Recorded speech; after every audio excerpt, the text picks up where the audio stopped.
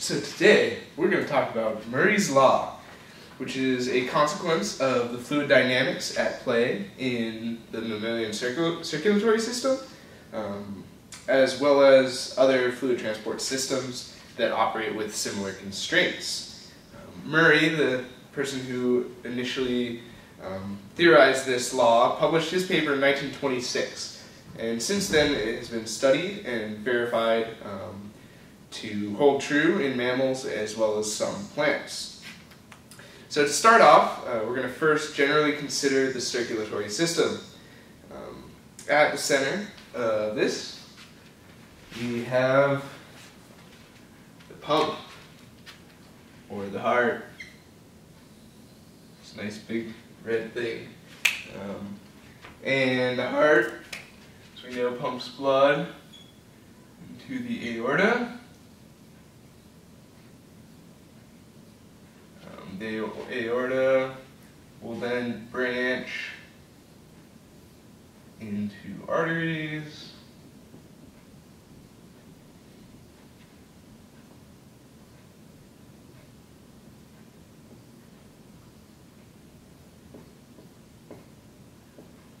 Um, and those will turn into capillaries, which we're just going to draw as a series of small lines because they are very small.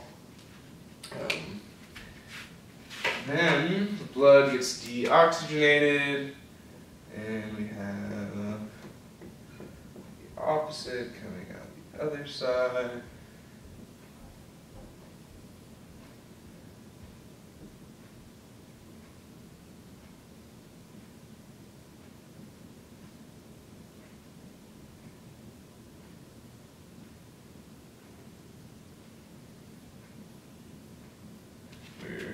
Here we have the vena cava, um, and here we have veins. Going this way. So Murray was considering maximum efficiency uh, in the circulatory system, um, and so he kind of came up with two um, ideas of how um, energy is used by the circulatory system. So the two energy costs um, that Murray theorized uh, were friction of the fluid flowing through um, the veins and arteries, as well as um, the energy cost of maintaining the total volume of blood. Um, so I'll just make a note.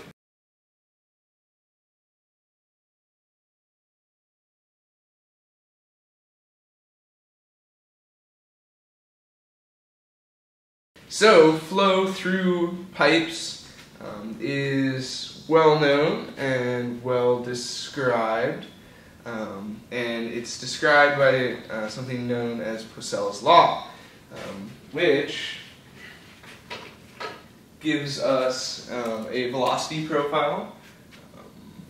v um, equals a squared minus r squared over 4 yeah times del 3 P, which is the pressure gradient, which we're just going to call P. Because we're going to assume it's uniform across the pipe and it will be in the axial direction of the pipe. Um, so what this looks like if we have an example pipe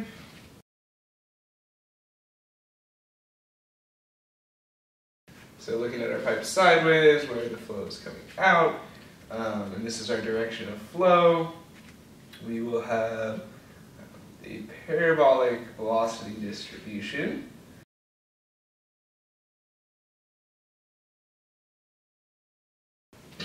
Looks something like that. Um, one of our conditions of laminar flow in a pipe um, is that the, there's zero velocity at the edges of the pipe, and then because the fluid has viscosity, uh, the shear forces applied from the walls are distributed um, in a parabolic manner such that the velocity is fastest in the center of the pipe um, and decreases towards the edges. Um, so, um, let's see. So if we're interested in the total discharge rate, like how much stuff is coming out of the pipe over here. Um, and we'll call that Q. Q is going to be equal to the integral of 2 pi r and then times the velocity with respect to r. Um, and this equals positive, and that positive pressure will make flow flow right, just for simplicity's sake. Um, cool.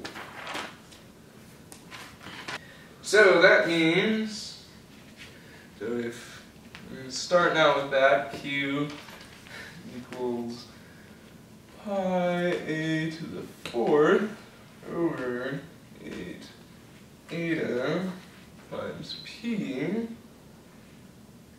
And we're going to define Q equals F times L, where F is flow length. You won't be able to see that. So P is equal to 8 eta q over pi a to the fourth. Um, yeah. So if we multiply, if we now plug in, so now equals fl, and we're going to multiply both sides of the equation times f um, to get the total flow rate. And what we get there then is that pf equals 8 eta f squared L over pi a to the fourth. And this is going to be work or energy loss.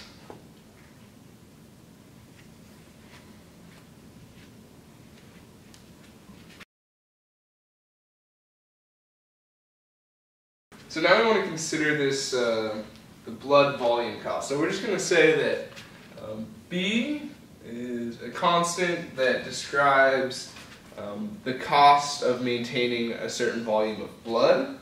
Um, so we're going to use this thing called, so B is a constant and B volume equals cost of blood maintenance in energy, which equals B times pi a squared L, right? Times pi a squared L. Um, so, now the total cost total energy cost E is equal to um, PF plus B vol, which equals 8 eta F squared L over pi a to the fourth plus b l pi a squared. Um, now to minimize the amount of um, energy, uh, we want to take the derivative of this and set it equal to zero. So dE dA equals 0 equals 32 over eta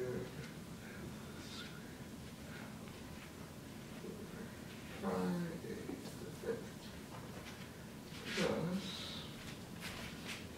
2 b L. Nope. Uh, yeah. Yep. Again, that equals zero. Um, so now, Um, we can solve this and we can say that 2 BL pi RA yeah, is equal to 32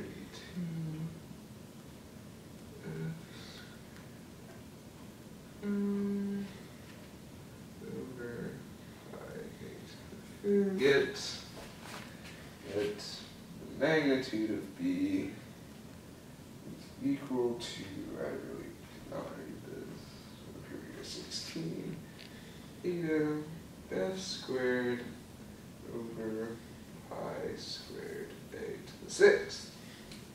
Going back into our earlier equation, we can actually say uh, that PF equals B vol over 2. So, this turns into that with algebra.